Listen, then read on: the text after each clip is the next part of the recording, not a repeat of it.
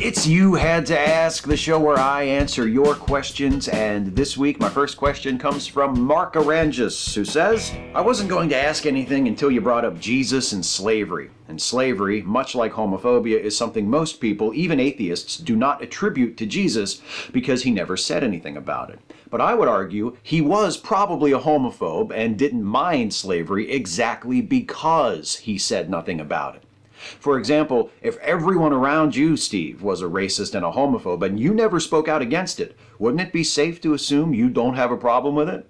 Son of God or not, Jesus was a very religious Jew from the Middle East in what might as well have been ancient times. Being pro gay would have been incredibly progressive of him. And seeing how he never said anything about it, while I don't agree, I can't blame Christians at all for interpreting the Bible as homophobic. Thoughts?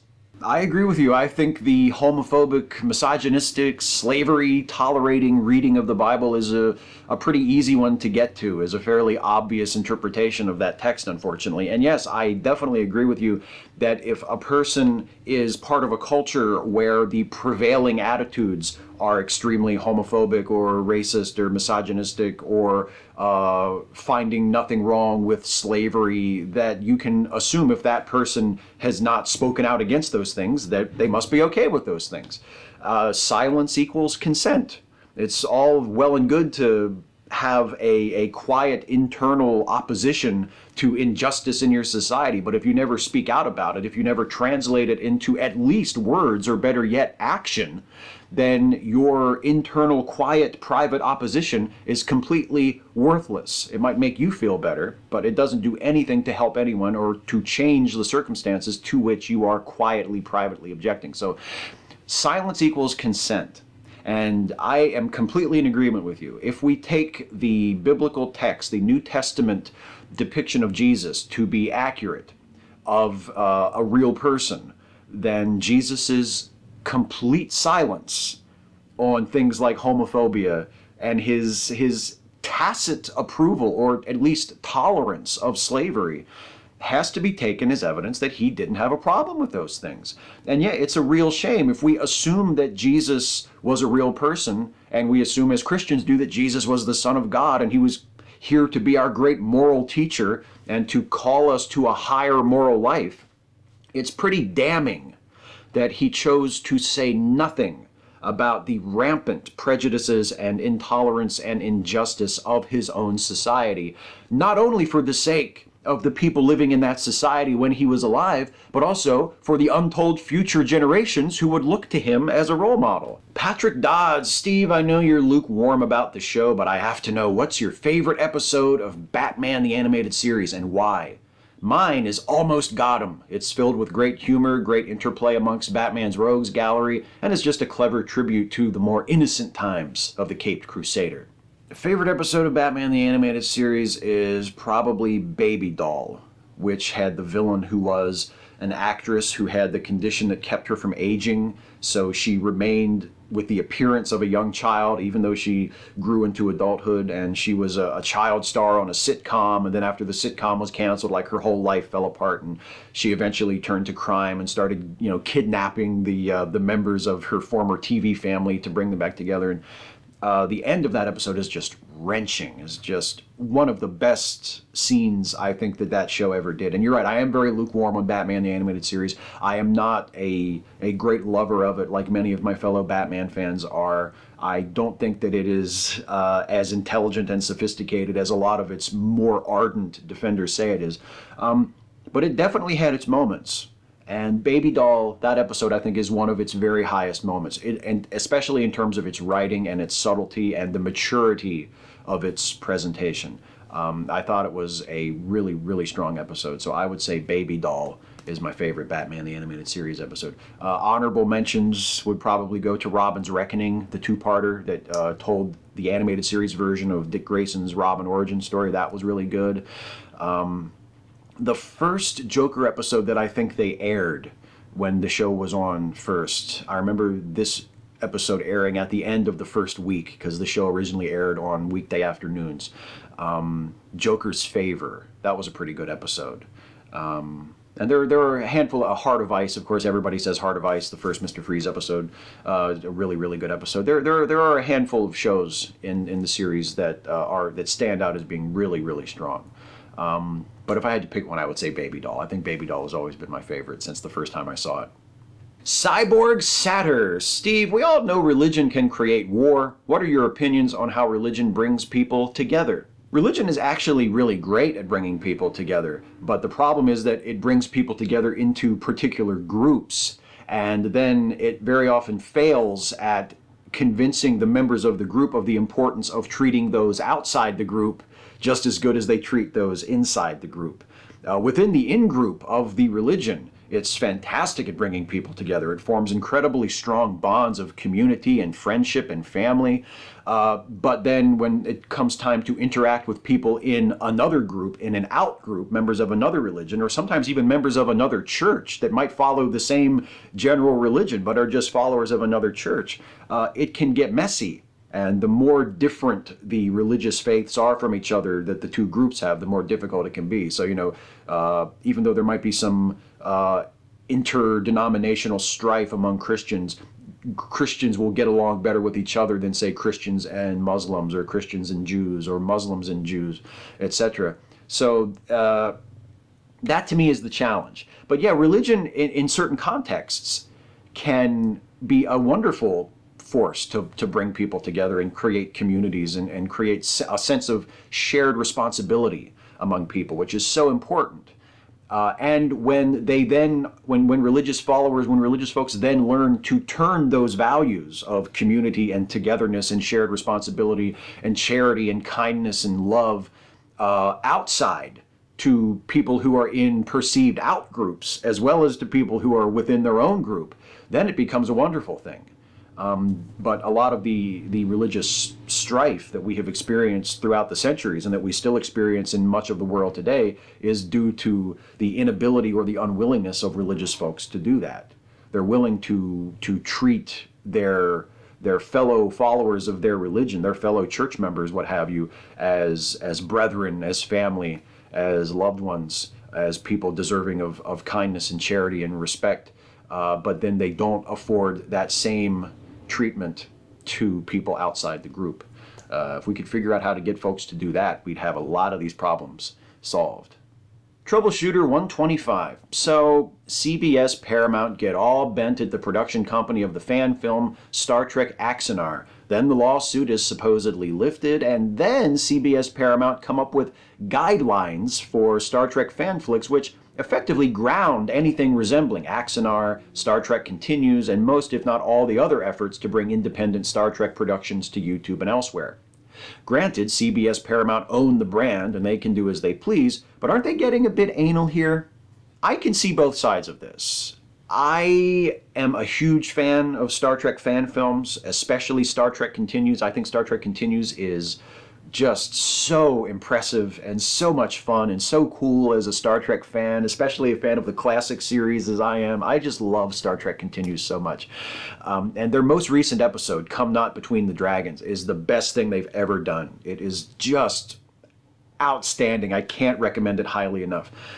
But I completely get what Paramount's problem was with Axanar in particular. Um, has uh, held multiple crowdfunding campaigns, has raised tens of thousands of dollars for a production that still has not materialized. Uh, at one point was selling, uh, as a part of their fundraiser, was selling coffee, Axanar coffee, that included uh, CBS Paramount uh, intellectual property on on the, the, the coffee bags. And the producers of Axanar claimed that they weren't using CBS intellectual property because they weren't putting you know uh, established Star Trek characters on their coffee. They were using just their original Axanar characters, but they were using Star Trek fonts. They were using Star Trek graphics. Some of the characters. Uh, on the coffee were Klingons or were wearing Star Trek uniforms. Like they were obviously using elements of Star Trek to put on their coffee to market it that they could then sell to raise money for their production, which is one of the cardinal rules that CBS Paramount always said before they introduced these much stricter guidelines. They always said, hey, you know what? We're going to be cool about it, do whatever you want, just don't make any money off it. You cannot make money, you cannot profit on your use of our intellectual property. And Axanar, I think, crossed that line and has very clearly been profiting by using uh, CBS Paramount Star Trek intellectual property. So that that kind of ruined it for everybody, and it sucks because I, I, yeah those the new guidelines do seem to prohibit something like Star Trek Continues from going forward. Uh, it seems like Star Trek Continues will be finished, will not be able to to make any more episodes, which is a real shame because, as I just said, I love it. I think it's tremendous. Um, but I can see why CBS Paramount chose to put its foot down. I really think, and look, the the Axanar thing looked cool too. When I saw the trailer and the the sort of uh, promotional film that they made for it, Axanar looked pretty cool. Like I totally would have watched it if it had been allowed to materialize. But I think the way they raised their funds and the way they went about their campaign and, and their production was in clear violation of the informal rules that Paramount had laid out for fan films for a very long time and resulted in them coming down with these much harsher guidelines that, that basically rules out all of this other stuff. So I think Axanar kind of shot itself in the foot and shot a lot of other fan productions in the foot as well uh, with its conduct. So it sucks as a fan of Star Trek fan films, but I, I get why Paramount decided to do this. I really do. Carlisle the Cinephile. Hey Steve, I have a much heavier question than the ones that I usually ask. I've had a really difficult couple of months and have been struggling with depression as a result of it. I've been dealing with some very stressful and unpleasant things in my personal life, and I've been finding it harder and harder to keep it together.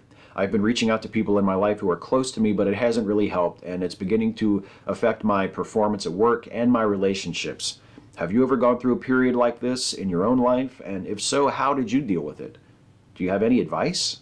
I wish I had better advice for you. I don't think I can advise you from personal experience on this because even though there have been periods in my life where I have been melancholy, um, I don't know if I've ever experienced what I would call depression with a capital D, or what I guess you might call clinical depression. Like I've never, I've never felt like I had to go seek professional help. I've never been in such a depression uh, for such a, a, sustained amount of time that it threatened work or relationships or anything like that. If there's any way you can have access to a mental health professional, go see a therapist, go see a counselor um, to help you talk through some of the issues that you're going through, I would highly recommend that. Um, because I have seen with people in my life, people I have been close to, that it can make a very huge difference to have someone to talk to who knows what they're doing, who is a professional, who is a counselor, who is a therapist. That's the only thing I can really recommend to you.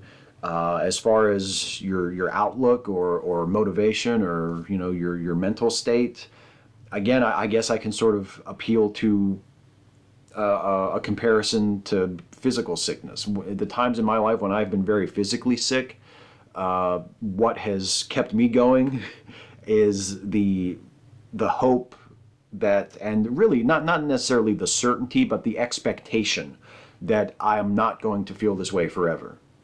That the illness will eventually be treated will will will go away. I will be my former healthier self again. And that hope and that confidence in that future you know uh, was a big help to me. And maybe that can be a help to you in your depression. If you can remember a time in your life when you weren't depressed like this when you didn't feel like this when you felt good when you felt at least normal. Think about that and then try to shift that forward and hold on to the expectation that you will feel that way again. That the feelings you have right now, the depression you are going through, will not last forever. It will pass. There will be good days still ahead. And I, maybe that would help. I hope that would help too if you could if you could think on that and focus on that. But i would highly recommend if at all possible to try and find a therapist or a counselor who can help you much better than a well-meaning dumbass on a youtube video. Just me. joe mcclory i think i liked your last atheist reads better than the others you've done The book was different, and it was nice to see you pointing out that you agreed with the author that, yeah, some atheists tend to let their biases color how they view Christianity, and they may unfairly bash it more than it deserves and refuse to acknowledge the good it has done. Before, of course, pointing out that he was not being as reasonable when upselling Christianity. Did you find that reading the book did have you addressing your own personal biases and actually affecting you some? And was the book more or less bothersome than most books of apologetics for starting to show nuanced arguments and then seeming to ignore them to upsell Christianity? It did uh, force me to confront some of my own biases. It did not begin that process, but it continued a process of me working through and changing my attitudes toward not just Christianity, but religion in general that has been going on for a while now. I am coming more to a place now where I have a more complex understanding of things, where there are some things about religion that are very bad and that need to be addressed and that need to be opposed.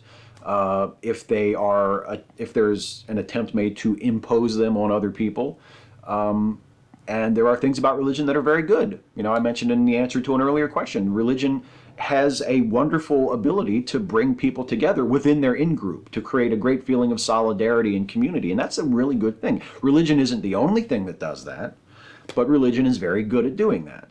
Uh, by the same token, religion is also very good at uh, turning groups against each other or causing people to view members of an out group as as inferior or as enemies or as hostile or as something that must be resisted and destroyed. Religion is not the only thing that does that. But unfortunately, religion is also very good at that. So there are good things and there are bad things about religion. And yeah, there were times when it was frustrating. There were definitely times when it was frustrating because Hart is a really intelligent guy. You can tell by his writing, you can tell by his the attitudes that he expresses through the book that he is an intelligent guy. He is a lot more thoughtful and a lot more insightful than most of the other authors that I have read.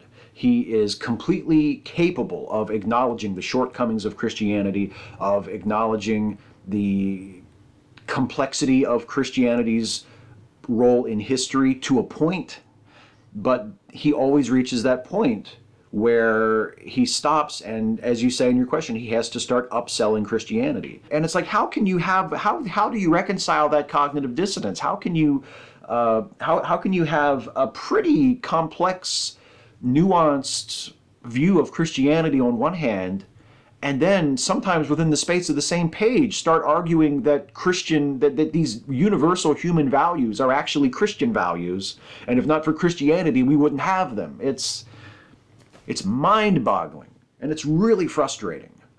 Uh, and that was a feeling that I felt a lot when I was reading that book and trying to prepare my responses to it. But that that that that was that's just the way that series went, and I'm really glad you enjoyed it. I hope other people who liked who watched it enjoyed it.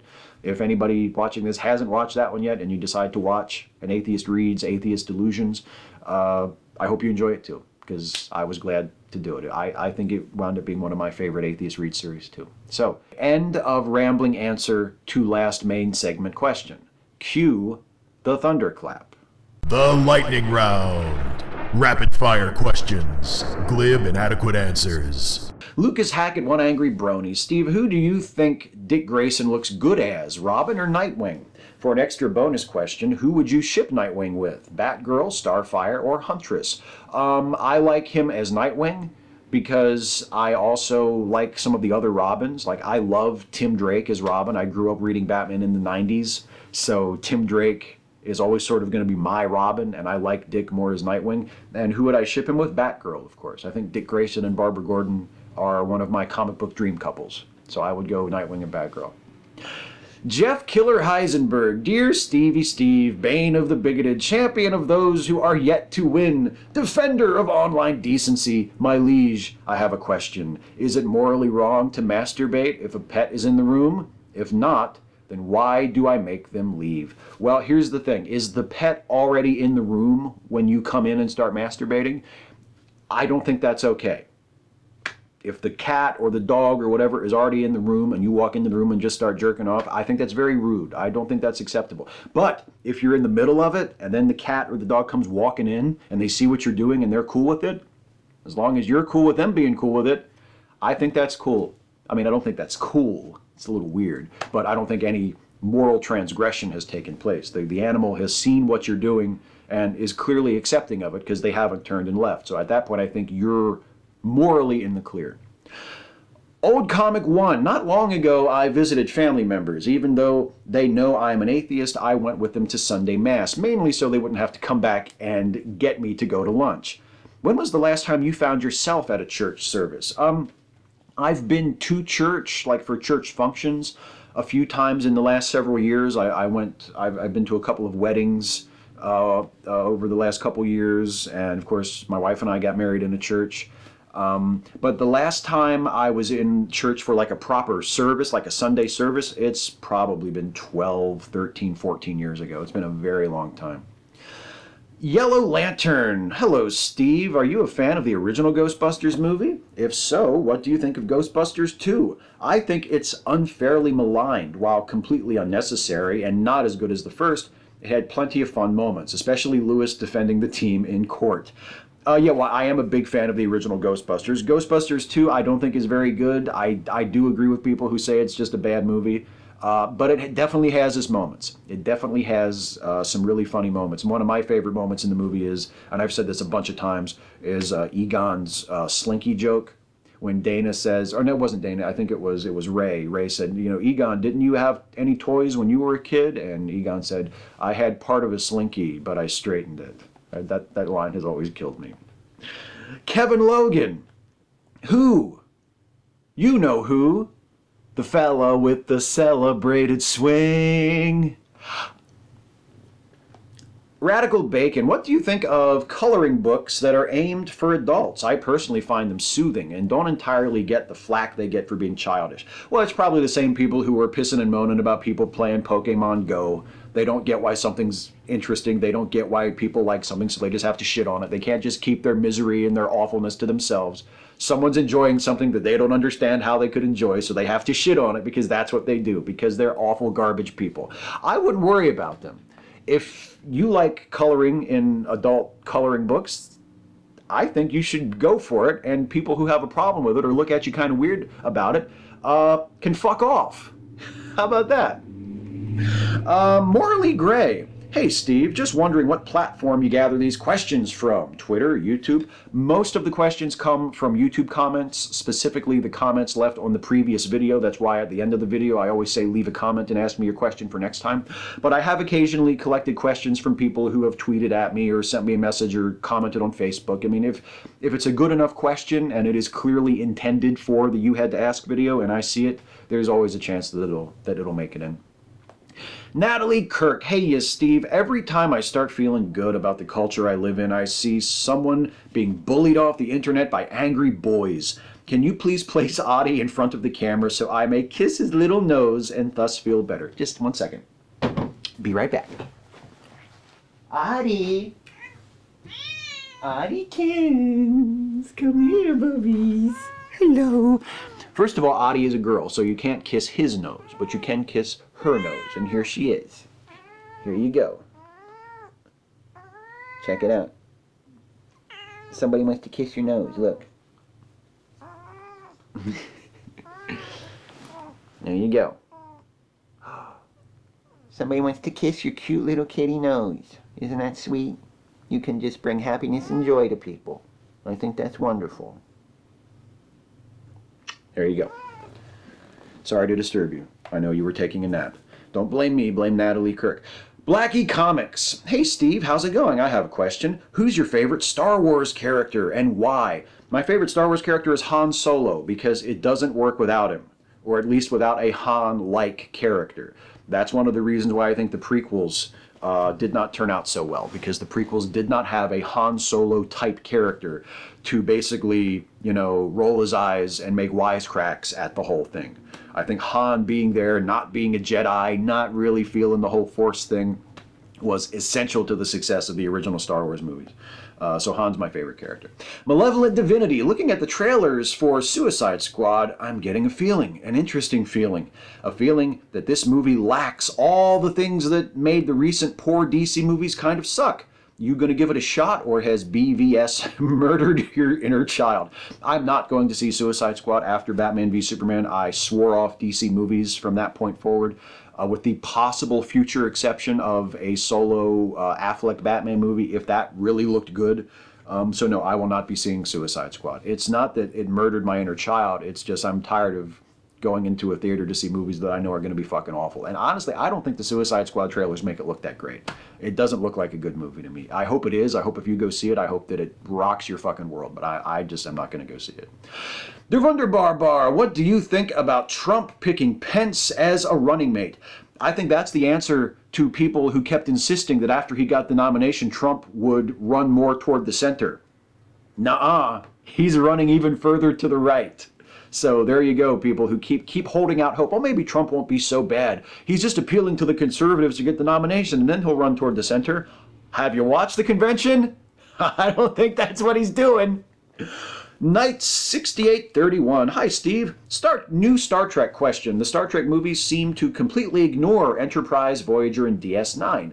Can you think of any logical reason for why those three Star Treks never had a movie of their own? Well, I just I I don't think any of those shows, as much as I love Deep Space Nine, I don't think any of those shows was popular enough uh, to really warrant its own film series. And also, I don't think that's the natural progression. I mean, just because there were classic Trek movies and Next Generation movies doesn't mean that that's the next step for any Star Trek show. Like, oh, you, you get, you, you know, you, you finish your TV run and then you get your movies. I don't think that was ever the plan. I don't think anybody ever thought, oh, we're going to do Deep Space Nine movies after season seven, or we're going to do Voyager movies after the show's over. I just, I don't think that was ever part of the plan. Hey, that's it for the lightning round. That's it for all the questions. Before I go, I'm going to give a shout out to a very deserving individual, and the individual receiving the shout out this week is the writer, the author, the creator of an awesome blog called According to Matthew. It is the blog of Matthew Facciani. I was really, really happy to be able to meet Matthew very briefly uh, the night of the Reason rally. We shook hands and chatted for a few minutes. He's a really, really super nice guy. He talks about politics and social justice type stuff and is just a really, really wonderful, humane, progressive voice in the atheist secular community, someone who uh, deserves an audience, deserves to have people reading his work, and is someone that I really, really enjoy reading and, and really look to as uh, one of the great bright spots in our community at the moment. So Matthew Facciani and According to Matthew is the blog. Check out that blog. I don't think you'll be sorry that you did. I also want to tell you, as I always do, to check out the Lemme Listen podcasts. And I don't think you'll be sorry you listen to these either because they're pretty awesome. These are the creation of my very good friend Jason Harding, who is also the creator of Opinionville here on YouTube that you should check out. But the Lemme Listen podcasts are a series of podcasts uh, including Let Me Finish, which Jason co hosts with Finite Atticus, American Monsters and How to Destroy Them, an awesome improv comedy podcast that I have guest starred on a couple of times and that is currently in the middle of its second season. New episodes of American Monsters are going up, and you should definitely be listening to those. Um, Cinema Shack, which has just been sort of folded into the Let Me Listen podcast family, which is an awesome movie review podcast. Um, upcoming in the next couple of weeks, I'm not sure when it's going to be debuting, but Jason is also starting a new movie review podcast uh, called Cinetific that you'll have to check out that looks at the scientific plausibility of, of uh, scenes in movies that I really think is going to be a lot of fun. And finally, last but certainly not least, there is Late Seating, the movie review show that Jason co hosts with me, where we watch a classic film, a film that has a certain reputation for being either really good or really bad. We give it a fresh review, we summarize the plot, we make fun of it, and then we decide whether or not the movie deserves its reputation as being either a classic or being an infamous bomb. And this week we have a new episode of Late Seating going up and the movie we have chosen to review in honor of the new Star Trek movie opening this week is possibly the most widely panned Star Trek movie ever made Star Trek V the Final Frontier. Listen to the new episode of Late Seating. Listen to me and Jason review Star Trek V, The Final Frontier. I think you'll like it. It's a really, really fun episode. You can listen to that. You can listen to all the past episodes of Late Seating and all the episodes of all the excellent Let Me Listen podcasts by going to lemmelistenpodcasts.com Thank you so much. That's it for me, everybody. I'm out of here. I want to remind you before I go, as always, to please leave a comment on this video. Ask me your question for next time. You can ask me anything about anything. Nothing is too serious. Nothing is too silly. I will answer as many of your questions as I possibly can in the next video. So until then, take care, everybody. Hey folks, hope you enjoyed this one. If you did, please like, share, and subscribe. And also please consider helping me to make more videos like this one by supporting this channel through Patreon. You can go to patreon.com slash Steve Shives to become a patron. Thanks again for watching, and I will see you next time.